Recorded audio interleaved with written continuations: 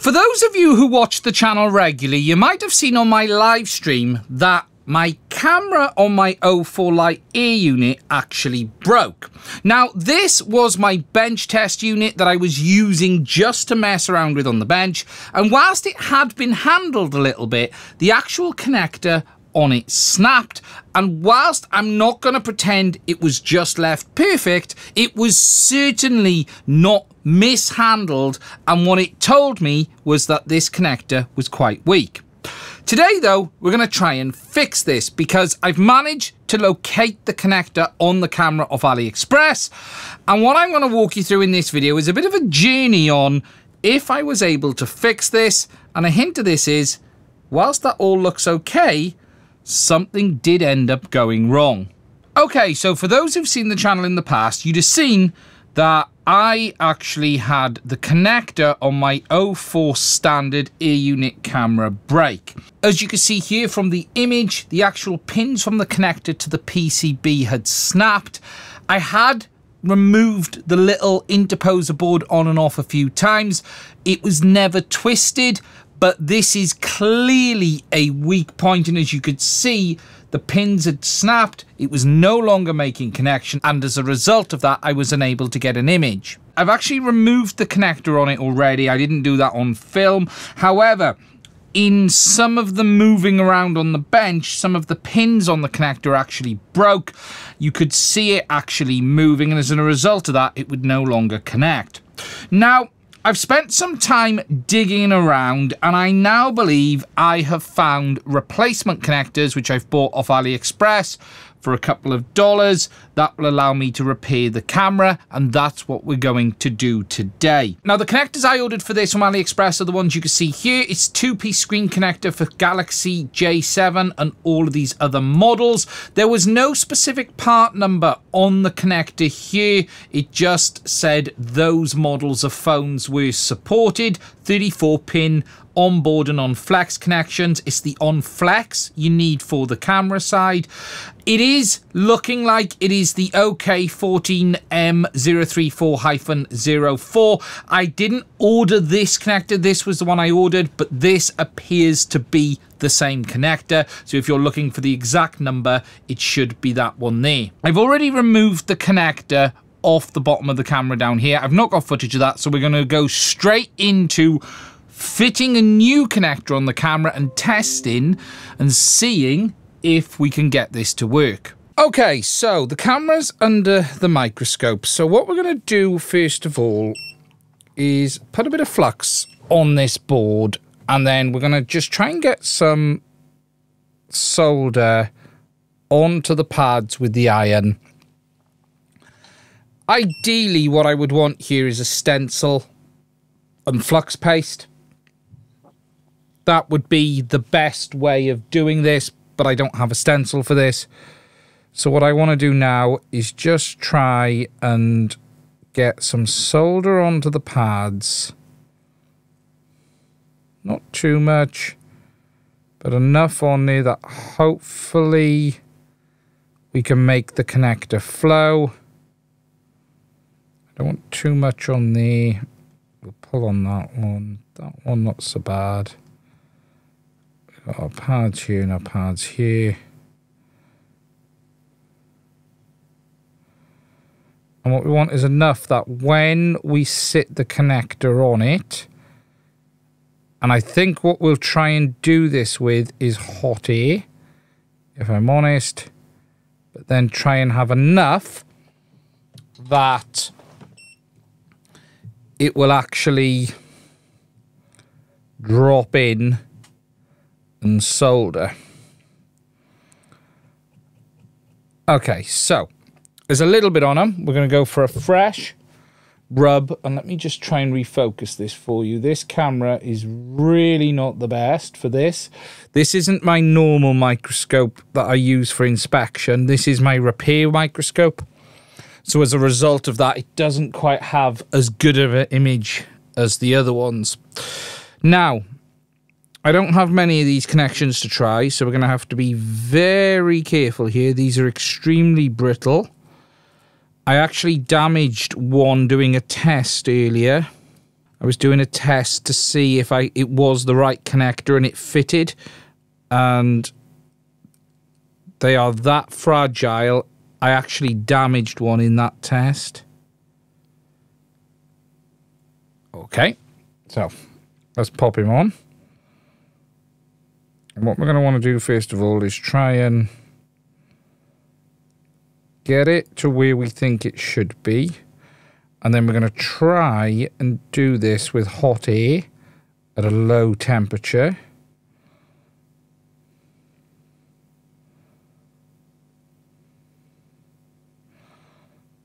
Sorry, a low um, air setting. Okay. I think that looks pretty good. So,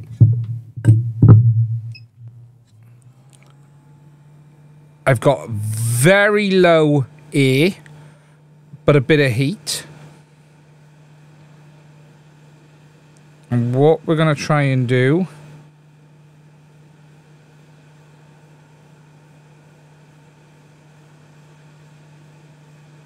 with that is flow it in.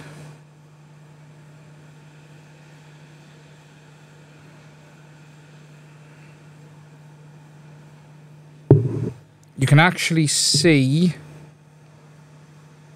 the connector started to move as we did that.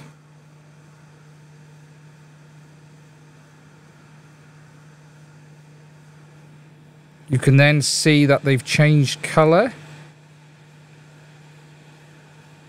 which basically indicates that they've wetted.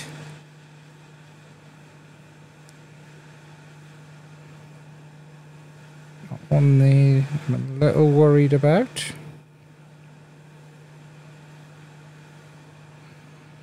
I want to be very careful.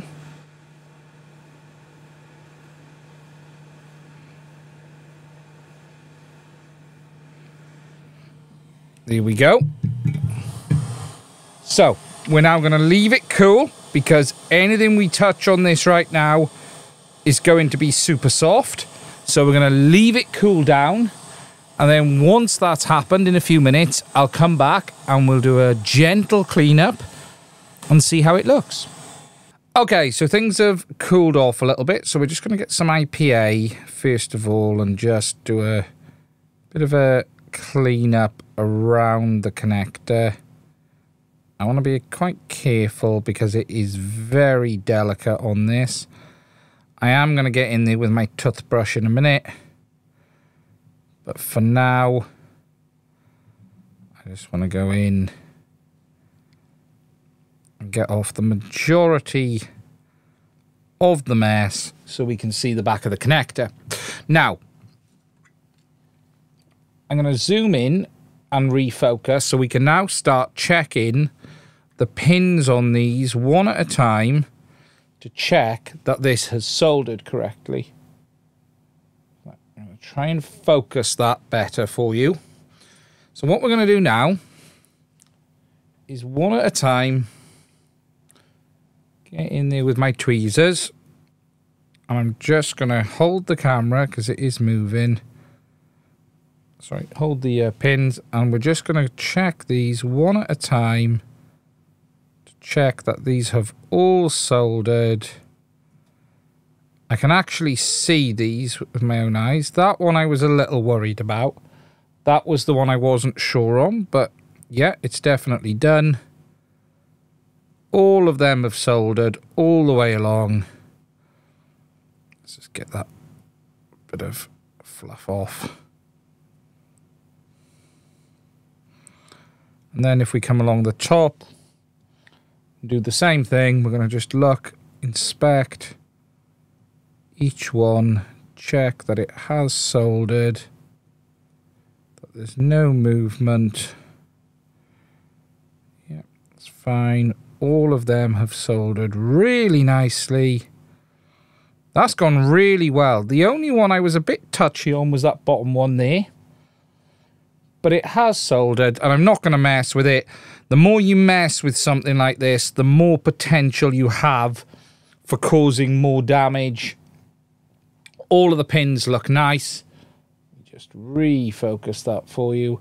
And what I'll do in a second is I'll show it to you under the proper overhead so you can have a proper look at it. But what I want to do before that now is do a bit more of a cleanup. Get it now properly clean up. We'll get the toothbrush in there so we can get to the flux under the connector as well.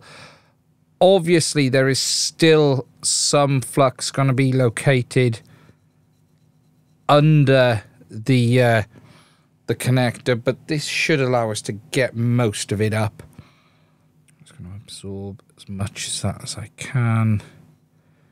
Use the Q-tip to do that.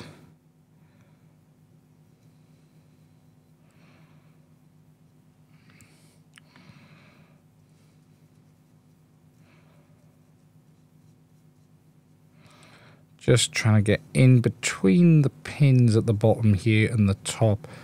Just because that's where some of that flux was underneath.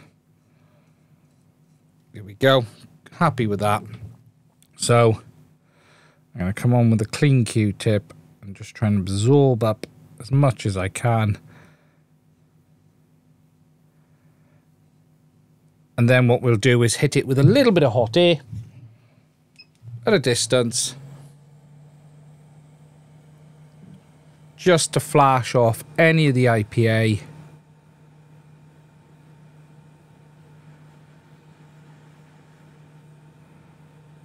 Here we go. And then we'll get it under the uh, other microscope. Okay, so now you can see under the other microscope you can see the pins in a bit more detail. They are all soldered fine. I've double checked them. All looking good. And again, this isn't something I want to mess with overly. It is something I just want to do. But the only one I would be tempted to touch up is that one you can see with a little bit of gold there, a tiny touch of gold, but it is soldered. So it's time to test and see if it actually works. Okay, so for reassembly, I've put this side all back together. I've put that interposer board onto the camera cable, and then I'm now going to try popping this on. This is the first time I've done this, so let's hope it actually fits. Give it a gentle push. Oh, ooh, that's snapped on nicely. Look at that. There we go. So, we definitely got the right connector all looking good. I'm ready to test this and I want to see if this works. So we've got my goggles, we've got my phone so you can see through the Fly app. I had it connected just now on another Air unit. So let's see, does this work? I'm going to plug in and I'm going to look through my goggles. Two moments. Hey, we have camera view. Although, what? Hold on a minute. Why does it look like I'm looking through a jam jar? Is the lens dirty? Okay, so we're definitely live. Let me just lift that. Okay, so you got the live feed here as well. So, you're seeing what I'm seeing, which... Okay. That's a little bit odd. Let me just go and find a Q-tip. I've got a clean one here. Let's, let's give us a clean. Is the lens dirty? Oh. Oh dear. I've just seen something. Can you see that on the overhead? It looks shiny down there. What? Why is that happen? Oh my god. I've just realised. So, as I was soldering the connector here like this, we had hot air going that way. I forgot about the plastic lens on this camera. I forgot that it's got a plastic lens. A little too much heat has reached the side and it's melted the lens inside. If I show you there, there you can see we have video, but the lens is destroyed. Oh my god. Okay. So if we were going to do this, we would need to shield that with hot air. If we were going to do this with hot air, shield it. Or maybe, in the end, have to do it with the iron. That's the only other option. Okay, so it's definitely it's clean. There's nothing. Yeah, no, it's. The heat has got to it. So whilst I have technically fixed this, I've ended up destroying the lens. However, all is not lost. There are lens mods available for these cameras out there that allow you to mount normal lenses. So that is a good excuse to make a video on doing it. And whilst I'm not going to do that today, you can guarantee that there will be a video from me coming with a lens mod on this camera in the future. What we have been able to do though is replace the connector. It is available for a few dollars off AliExpress. I will put a link to the ones that I used in the description. So all is not lost. What's really frustrating right now is that you cannot buy the Lite camera on its own. You do have to buy the full camera. DJI are not selling it. They're only selling the kit as you see here. But what it does mean is that you can repair it if you want. Now, that is it from me on this one. I hope you found it interesting. If you have any comments and questions, please do leave them down below. Finally, I just want to say if you'd like to support us to allow us to keep doing destructive repair testing like you've seen here today, please do consider checking out the link to my Patreon as well as buy me a coffee. It is only through the support of my Patreons am I able to keep doing what I do on this channel. And if you'd like to support us, please do consider checking it out. Anyway, that's it from me. Stay safe. I will speak to you soon.